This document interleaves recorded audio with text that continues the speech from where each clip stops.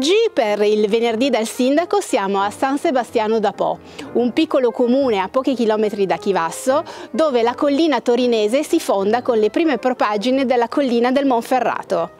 Siamo qui per incontrare il sindaco Beppe Bava, un appassionato amministratore dal 1990 che ci parlerà delle particolarità che racchiude San Sebastiano da Po, realtà artistiche, culturali e architettoniche, parlando del castello di San Sebastiano, delle particolarità naturalistiche, raccontando l'oasi degli animali e soprattutto un progetto sociale importante come quello di Cascina Caccia. Benvenuti a San Sebastiano da Po, ridente paese all'imbocco del Monferrato. È un paese di 16 km quadrati, dove non esiste un centro. Noi siamo un paese con sette eh, conglomerati, Moriondo, Colombaro, Caserma, Rottenga, Villa che è il centro storico, che è il capoluogo, Saronsella e Abate. Questo paese risale ai tempi degli antichi romani perché si risulta che la Pieve, dove oggi sorge il cimitero, fosse la plebe degli antichi romani di industria di Monteu da Po. Dopodiché si hanno dei documenti risalenti all'anno 1000. Da quella, dal 1000 in poi abbiamo documenti di esistenza di questo comune. E poi abbiamo una caratteristica, la caratteristica di avere a valle il grande fiume, il Po, e a monte le colline. Noi ci estendiamo dai 100 metri di livello sul mare agli oltre 300 metri eh, sulla, sulla collina.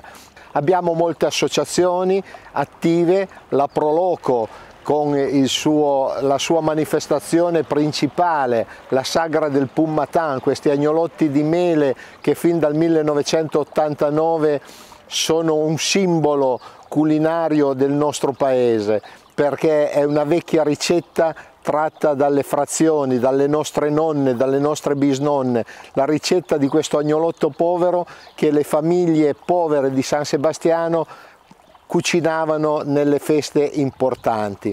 Dopo abbiamo l'associazione Alpini dove non c'è avvenimento che non sia presente. Noi siamo gemellati dal 1990 con Montamisè, ridente paese vicino a Poitiers. Abbiamo delle caratteristiche esclusive.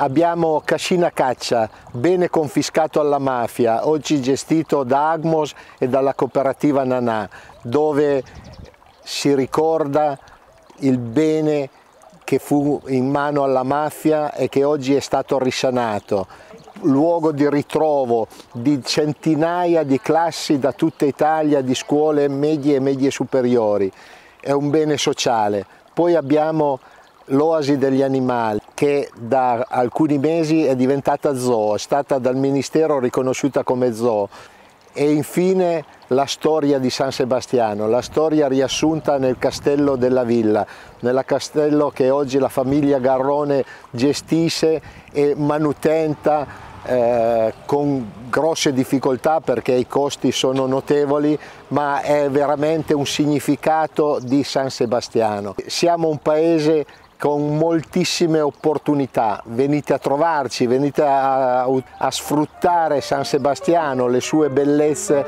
e le sue caratteristiche.